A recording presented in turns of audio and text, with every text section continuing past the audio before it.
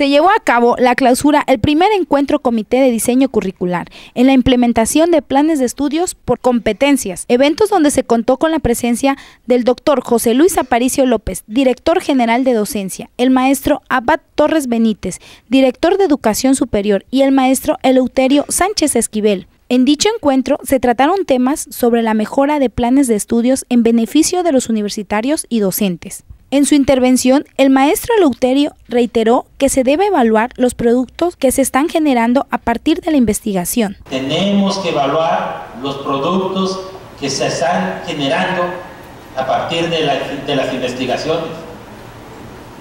Porque resulta que solamente los compañeros que están involucrados conocen eso.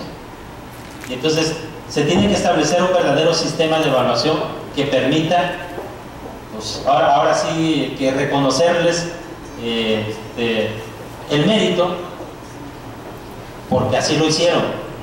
Necesitamos compartirlo, relacionarnos, trabajar de manera conjunta y no seguir trabajando de manera aislada.